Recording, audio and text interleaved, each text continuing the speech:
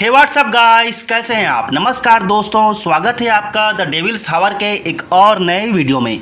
दोस्तों, आज मैं फिर हाजिर हूँ आपके लिए एक बढ़िया सा मूवी लेकर। तो चलिए दोस्तों, बिना वक्त गवाए इस वीडियो को शुरू करते हैं।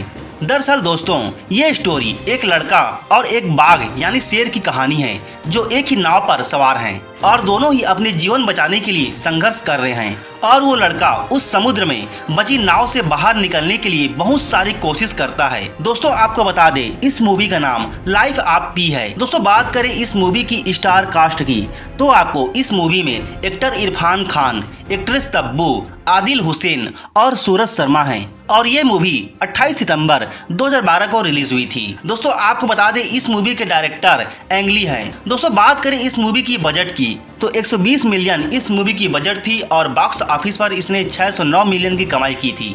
तो दोस्तों, आप इस मूवी को एक बार ज़रूर देखिए और मुझे कमेंट करके बताइए कि आपको ये मूवी कैसी लगी। Thank you friend